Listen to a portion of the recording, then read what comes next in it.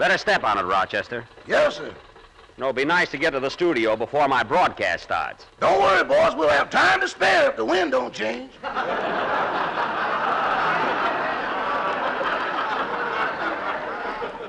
I, uh, I don't want to be late, especially after being off the program last Sunday.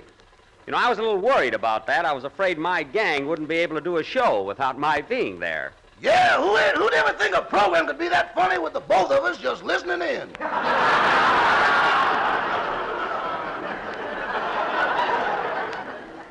Yes, it, uh, it did go over pretty well.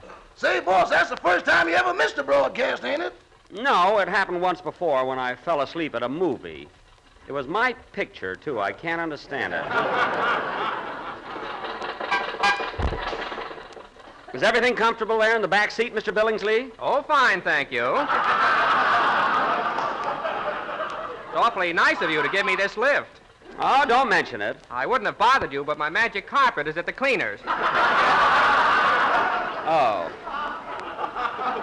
Oh. Hmm. Oh. Hmm. I told you, boss, that man's cuckoo. He is not. Rochester, what's the idea of driving on this little side street? We always take Sunset Boulevard to the studio. Well, the policeman told me that on Saturdays, Sundays, and holidays, we got to keep this car off the main drag. Oh, Rochester, you'll say anything to run down my Maxwell. I wouldn't mind it so much, boss, if you'd just fix the springs in this cushion. Never mind. Every time I ride in this thing, I get the mark of Zorro. Too bad about you. Oh, Mr. Billingsley, are you sure you wouldn't like to come to the broadcast with me? No, thanks. Just drop me off at the bowling alley. I'm going to have this ball taken off my thumb.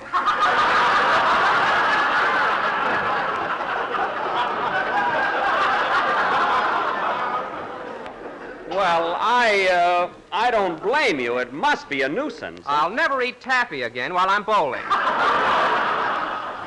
Oh, I was wondering how it happened. Rochester, will you please drive a little faster? I've got a program to do. I hope, it's, I hope it's as good as last week. That Mr. Marshall is sure great. Oh, I thought Herbert Marshall was all right. Everybody's raving about him, boss. You couldn't have got a better man to take your place. I didn't want a better man. I made a mistake, that's all.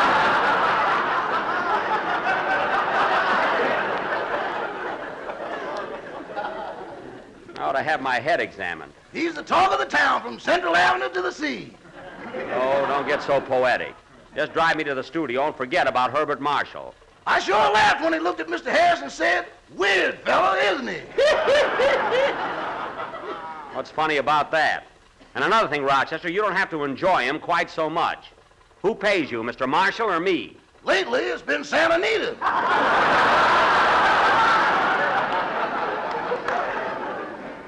Well, unless you expect your luck to continue right through Bay Meadows, you better curb your enthusiasm. Now get me to the studio. Can we give you a lift, babe? Mr. Billingsley, please! Now, that girl is a total stranger. Drive on, Rochester. Hmm. She was kind of cute, though. The Jello program starring Jack Benny with Mary Livingstone, Phil Harris, Dennis Day, and yours truly, Don Wilson. The orchestra opens the program with Emporia, Kansas Stomp.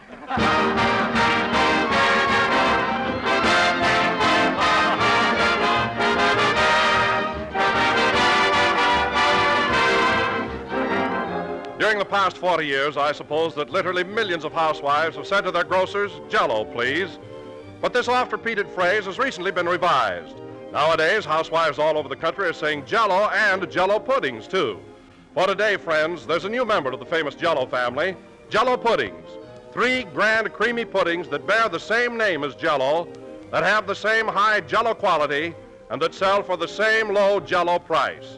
Jello puddings are rich, mellow puddings, as smooth as cream and full of luscious flavor.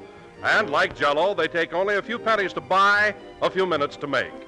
Be real sure the next time you order Jello, ladies and gentlemen, you order Jello puddings too. In all three flavors dark, rich chocolate, smooth, delicate vanilla, and golden butterscotch. Remember, Jello puddings are made by the makers of Jello, so you know they're good.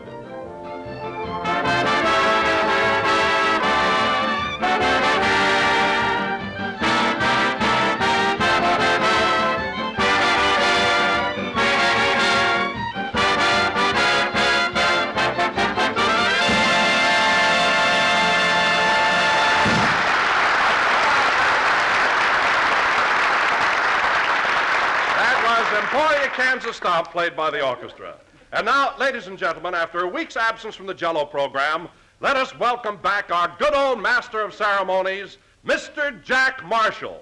What? Or Benny, Jack Benny.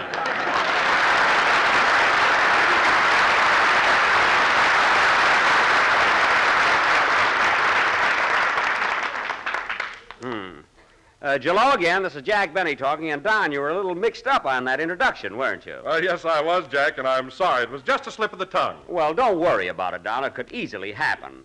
After all, you've been with me only eight years, and I've been away for one whole week. so it's only natural that you'd forget my name. Well, Jack, the only excuse I can offer is that since Herbert Marshall was on the show last week and did such a grand job, I subconsciously connected you with him.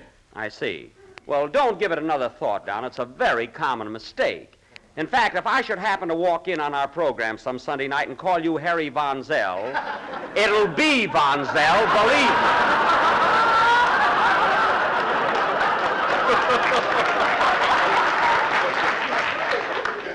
if I'm not too subtle. Now, wait a minute, Jack. There's no reason for you to feel jealous of Bart Marshall.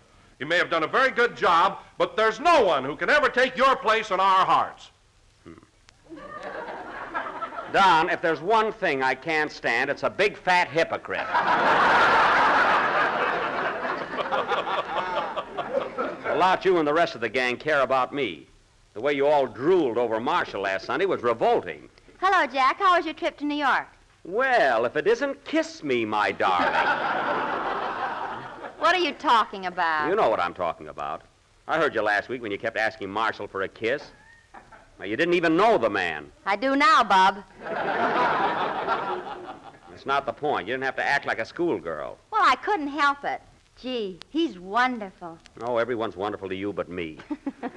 By the way, Mary, uh, Bart took you to Ciro's uh, for dinner after the show last Sunday, didn't he? Yes, Don, and don't talk about it. I was so embarrassed in front of Mr. Marshall, I nearly died. Embarrassed? Well, what for, Mary? Well, the head waiter had seen me there with Jack so many times, he gave us each our own check.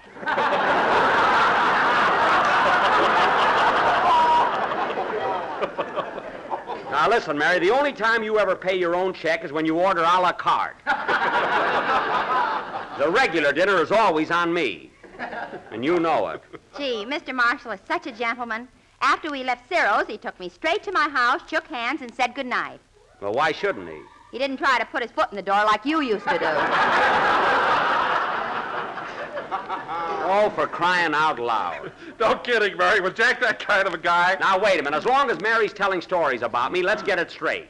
Look, Don, years ago when Mary first came to work for me in New York, it was raining one night, so I said to her, You live way over in Plainfield. Can I take you home? Can I take you home girly? All right, girl. Everybody said it in those days. Anyway, Don. Yes? Anyway, I put on my yellow slicker. With hat to match. It was a set. All the fellas were wearing it anyway, Don, when we got to Plainfield, it was still raining. And the only reason I put my foot in the door was because I wanted to come in and have a cup of coffee. There. That's the whole story. It is not. When you put your foot in the door, Papa bit your ankle. Well, how did I know he was laying there? and if you remember, Miss Livingstone, that's the last time that. Oh, hello, Phil. Hiya, Jackson. What's steaming? Was everything solid in New York? What? Did you latch on? Were you in there jumping? Hmm. Weird fellow, isn't he?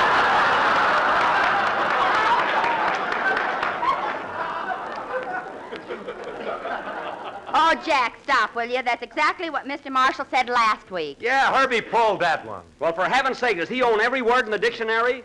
What a fuss you're all making over that guy. Now, wait a minute, Jack. What are you so upset about? It was all your idea. Yes, you asked Mr. Marshall to be on the program. You asked him to take your place. I didn't ask him to get laughs. He's a legitimate actor, and he double-crossed me. That'll never happen again. Well, I'll say one thing about Herbie. He's sure got a lot of class. I tell you, Jackson, that guy's suaver than me. Uh, he's distinguisher, too. Suaver. And Mr. Marshall thinks that- Marshall, Marshall. That's all I've heard tonight. Well, I guess that's about all the loyalty I can expect from this gang. That's life for you. Guy leaves the program, and the minute his back is turned, boom, the dagger. Boom is for a gun. All right. the dagger. But that's the way it goes. I've never seen it to fail. If my father told me once, he told me a thousand times, son, stay out of show business. Don't leave the clothing store.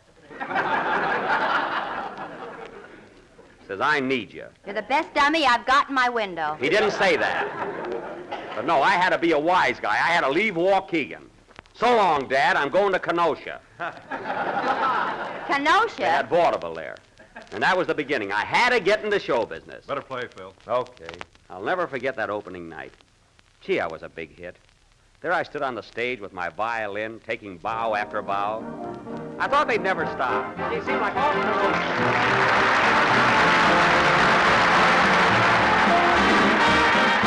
And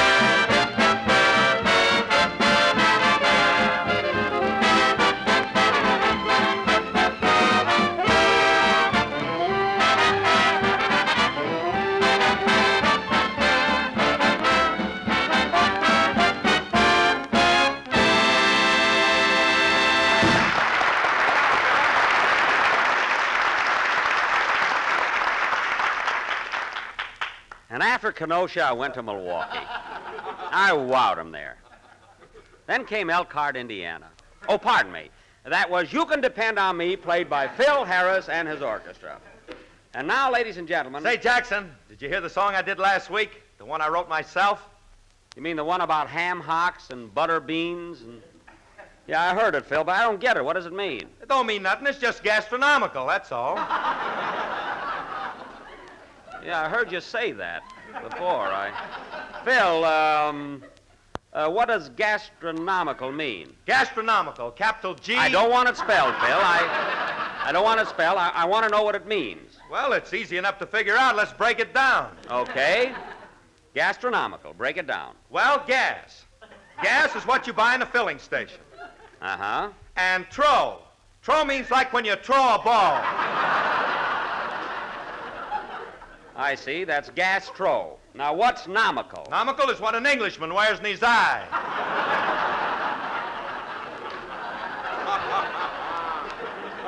Uh, that's uh, monocle, but I'll settle for nomical. So, according to your definition, Phil, gastronomical is an Englishman with a monocle in his eye standing in a gas station throwing a ball.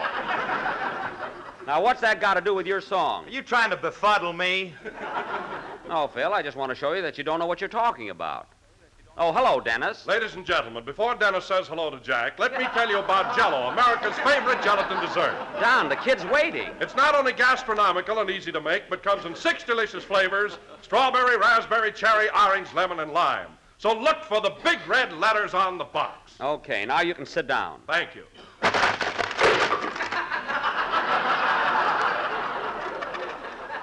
Well, uh, that chair'll never smile again. They can sweep that up. Can I say hello now? Yes, yeah. Hello, Dennis. Hello, Mr. Benny. What's going on? Oh, nothing. Boy, did we have a program last week. Is that so? Uh, who was responsible for that hilarious half hour? The big movie star, Hubert Marshall.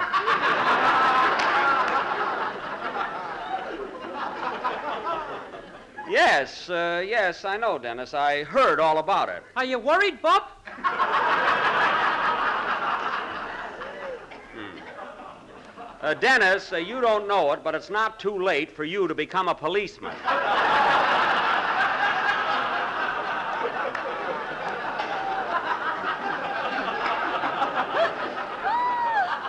so watch it.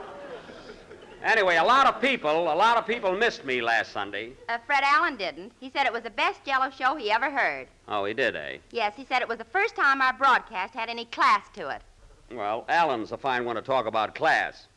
Any man that can be on a gasoline program for six months and still have those spots on his vest.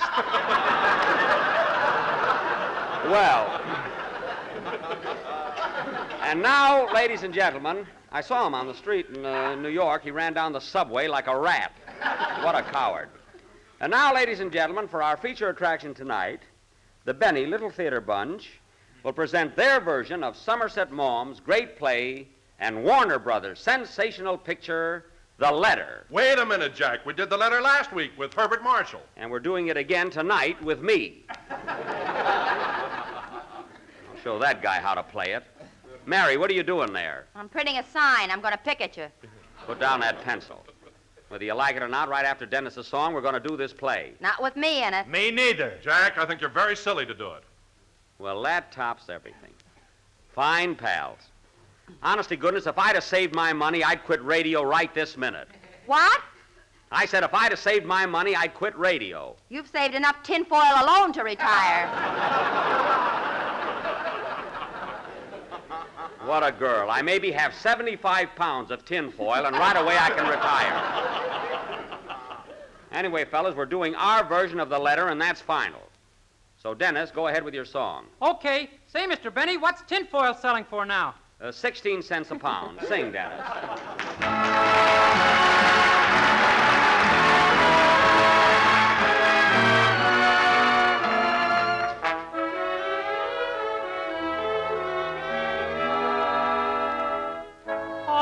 An idea for a hit song that ought to make me a million or two. This little idea for a hit song is inspired by my love for you. You are far too wonderful for any single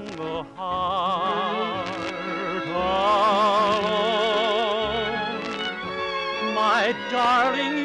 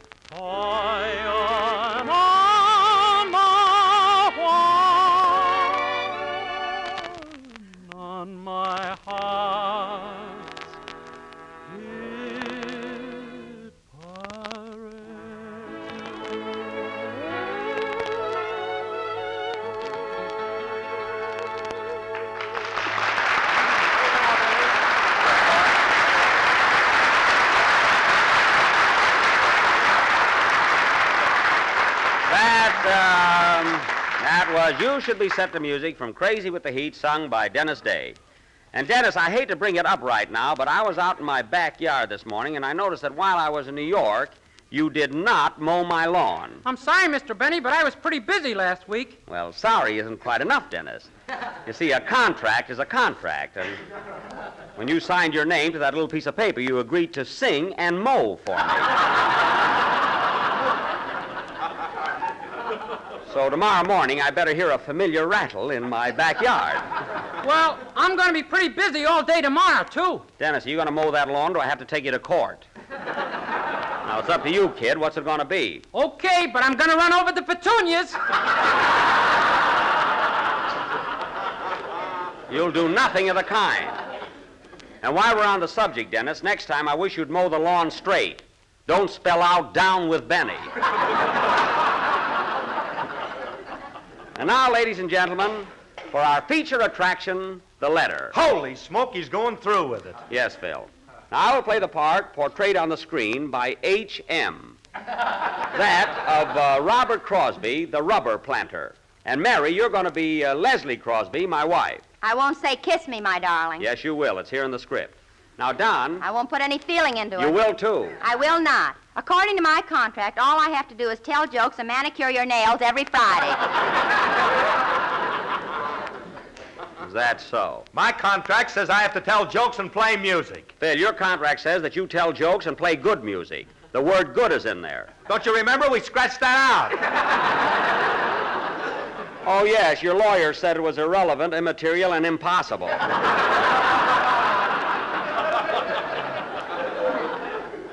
anyway, uh, getting back to our play, Phil, you're going to be the. Come in. well, look who's here. Gee, it's Mr. Marshall. Hello, everybody.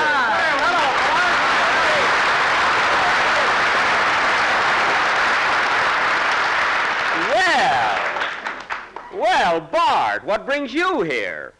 Better have a good reason. Jack, old boy, I simply had to drop in tonight and thank you for asking me to take over your program last Sunday. It was a delightful experience. I know, I know, and you seem to have gone over very big. Oh, I wouldn't say that exactly. Oh, yes, yes, you did. What a ham.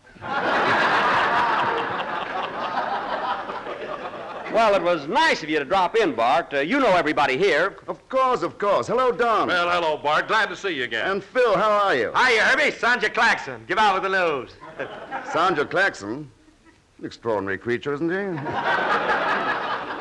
Oh, positively weird, I always say. And Mary, Mary, dear, I didn't see you standing there. You look charming this evening. With these goose pimples? Now cut that out. well, Bart, if you'll excuse me, uh, we'll get on with our play. Uh, we're going to do the, the letter, you know. The letter? I, I did that last week. Uh, very good, too. Uh, you were excellent. Oh, Jack, I thought it was just fair. Fair nothing, Bart. You were terrific. Boy, is he conceited.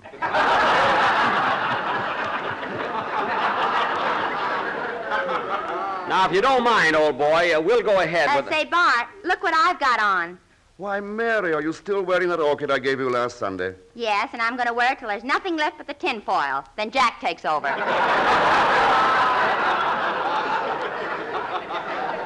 Now, stop showing off. Very good, Mary. Don't encourage her, please. Gee, Bart, didn't we have fun at Ciro's the other night? yes, indeed. Of course, I'll never get over the, the waiter handing us each a check. Hmm. Uh, Mary was telling me about that. Well, Bart, if you don't mind. Hey, Hubert, remember me? Dennis, will you pipe down? Come on, fellas, let's get going with the play. Uh, so long, Bart. Goodbye, Jack, and thanks again. Say, Bart, as long as you're here, why don't you stay and watch Jack play your part? Why, yes, that might be fun. Yes, do stay. Don had to open his big fat mouth.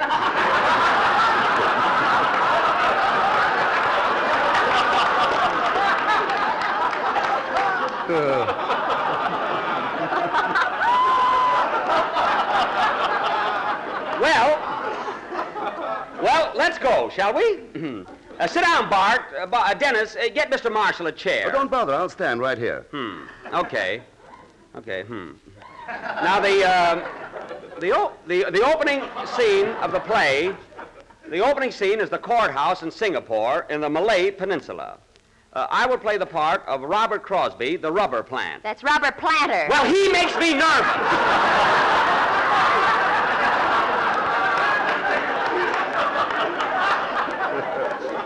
Gee. I'm sorry, Jack, oh boy, I'll go over and sit down. Okay. Mary, let go of him. Now, as I said before, the opening scene is the courthouse in Singapore.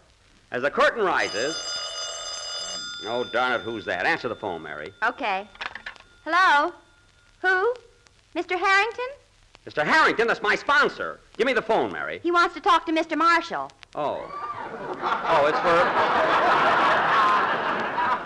Oh, it's for you, Hubert. Or Herbert. our, our sponsor would like to talk to you. Your sponsor? I wonder what he wants. So do I. Answer the phone. Here. Thank you. Hmm. Hello? Yes, this is Herbert Marshall. Oh, oh, well, thank you very much, Mr. Harrington. That's awfully sweet of you. Yes, I thought it went over fairly well. Sure, for one show. Let him try him try doing it week after week. What's that, Mr. Harrington? Oh, no, no, no. No, I couldn't have been that good. Week after week, that's the test.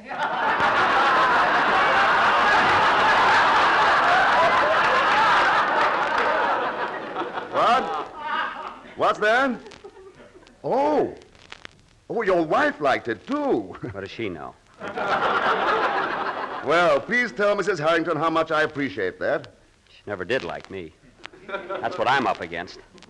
Well, thanks again, Mr. Harrington, and I'm so glad you called. Goodbye. Well, it was nice of my sponsor to call you, Bart. Yes, and he seems to be such a lovely fellow. Oh, he is. He is. You know, Jack, I'd like to have you introduce me to him sometime. I just hope you live that long.